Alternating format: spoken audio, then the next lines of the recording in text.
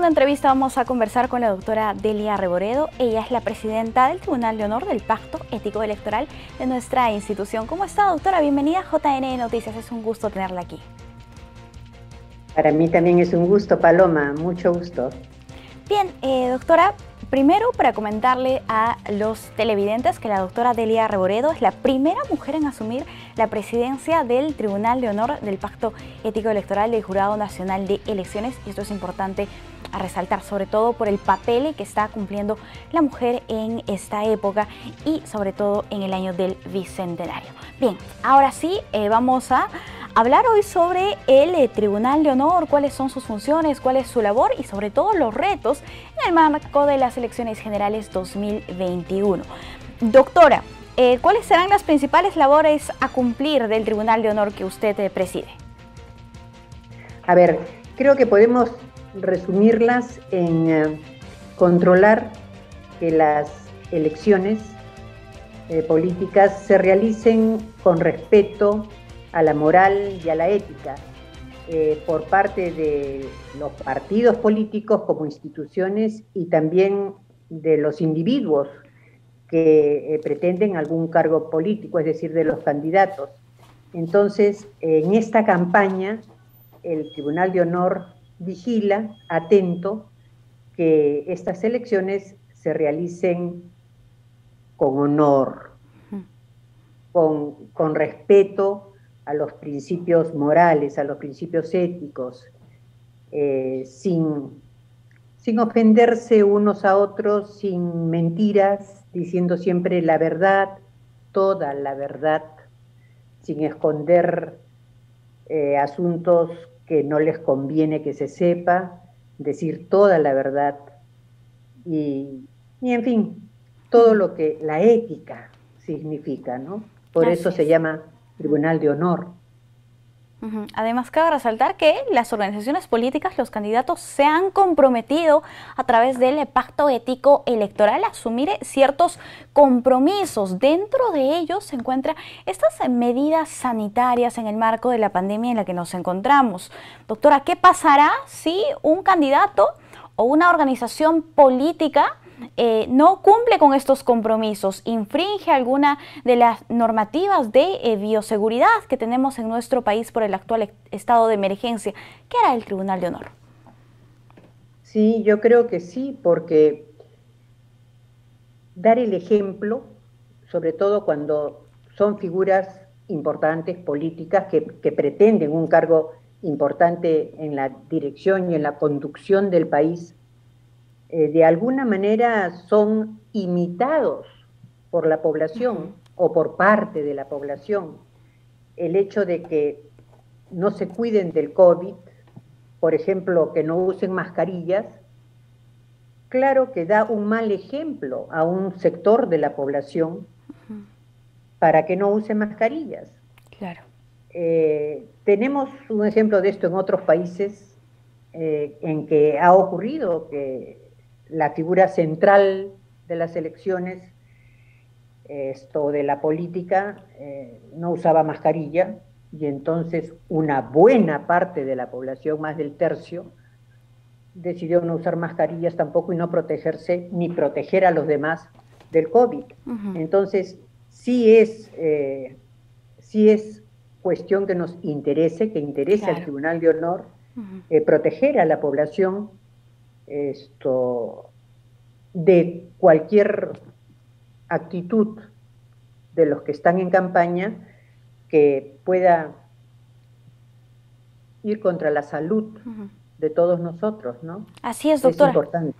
¿Qué pasaría si alguna de las organizaciones políticas infringe alguno de los compromisos que han firmado en el Pacto Ético Electoral? ¿Cómo procederá el Tribunal de Honor? Nosotros tenemos eh, varias eh, posibilidades, ¿no? Una es simplemente llamar la atención. Hay varios tipos de pronunciamientos, una escala de pronunciamientos. Creo que la más grave de ellas podría ser eh, denunciar el hecho y, a la persona causante de eso ante el Jurado Nacional de Elecciones. Listo. Ahora, ¿cómo se puede evitar la guerra sucia entre los candidatos, entre los partidos políticos, incluso a través de las plataformas digitales que tenemos como las redes sociales, doctora? Bien difícil, bien difícil evitarlo porque en las campañas políticas, pues, los candidatos tienden a exaltarse, tienden a mentir, es verdad, tienden a mentir, y a mentir sobre los demás candidatos, y estos reaccionan y se exaltan los ánimos y se olvidan muchas veces de, del honor, de la ética, de, tratarse con mesura, como señores y señoras que deben ser. Es algo que no se debe perder de vista. Entonces el jurado el Tribunal perdón, de Honor tiene que estar muy atento a, cómo se realiza la campaña y si hay o no estas faltas contra la ética.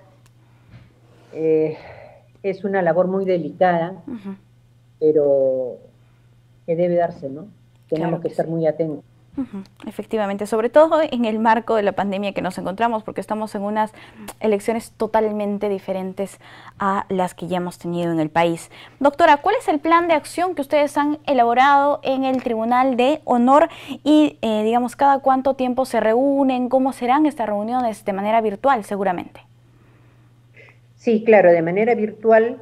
Eh, solamente hemos tenido una reunión, eh, creo que mañana o pasado tenemos otra eh, hemos eh, acordado reunirnos dos veces por semana, salvo que haya que sea necesario reunirnos más veces. Eh, felizmente todos estamos conscientes de la importancia de este Tribunal de Honor y estamos dejando otros quehaceres en segundo lugar para atender primordialmente las cuestiones del tribunal. Ahora, eh, ¿cuáles serían o cuál es la importancia que tiene la firma del pacto ético mm, electoral en el contexto de las campañas? Doctora, si podría explicarnos un poco. Mira, más que eso, pero muy relacionado, me gustaría decir dos cosas. Uno, que no todos los partidos han firmado el pacto ético electoral, creo que falta uno. Y segundo, que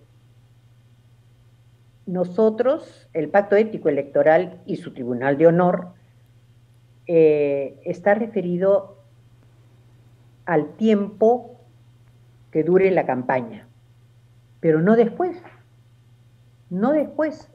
Después de la campaña ya no rige el pacto ético electoral y eso me preocupa. O sea, me gustaría mucho que los partidos políticos que intervienen en la campaña y se comprometen durante la campaña a ser morales, a actuar con ética, etcétera, etcétera, también se comprometan a que si resultan vencedores, continúen respetando los principios éticos y morales. Ese añadido creo que sería muy importante que estuviera en el pacto ético electoral. Bien, doctora. Ahora, eh, usted es una persona reconocida porque no traicionó en 1996 sus principios de honor y fidelidad a la constitución política de nuestro país. Eh, en ese sentido, ¿usted podría responder a la siguiente pregunta? ¿Qué es el honor para usted? Sí, con mucho gusto.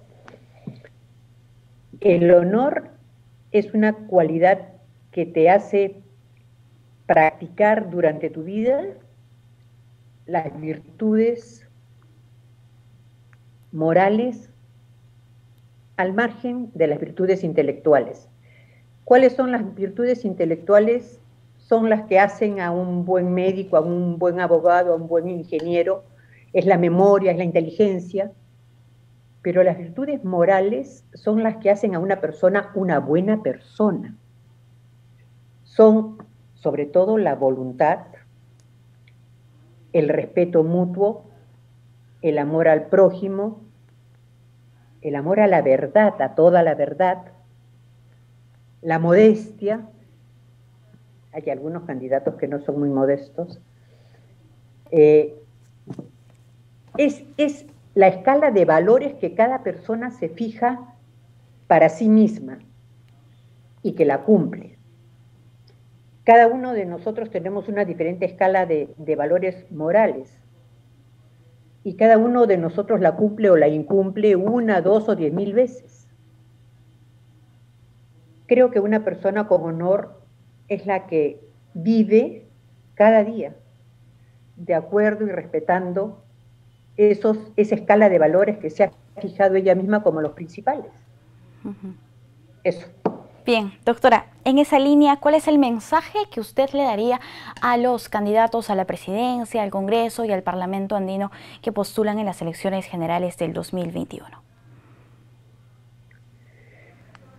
Creo que si quiero resumir, lo principal es que nos digan la verdad, que nos digan toda la verdad. Y, y también que se guarden respeto uno al otro,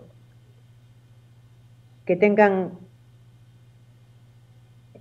que tengan un comportamiento ético ejemplar, que no insulten, que no, es que es difícil pues evitar las envidias, los celos, es difícil en una campaña. Pero hay que hacer un intento, doctora. Que traten, sí, que traten, que lo intenten. De acuerdo, Paloma, eso es lo que hay que pedirles, ¿no? Sí, pero sobre todo que digan la verdad, que no nos engañen. Y también, y también pedir a la prensa,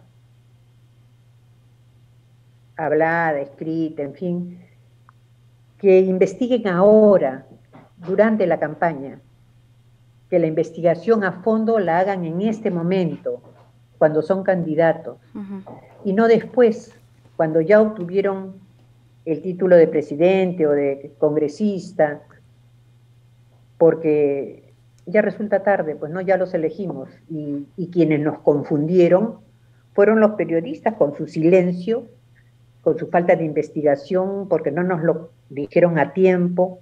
Entonces, ahora que se pongan a investigar, creo que eso es importante. Sí, doctora. Entonces, no tendría que faltar tampoco el mensaje al elector, al ciudadano. ¿Qué es lo que le diría usted al peruano que nos está viendo en este momento y que va a emitir su voto el 11 de abril? Primero que vote, que emita el voto.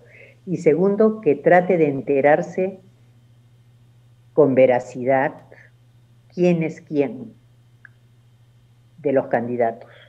Si son lo que dicen ser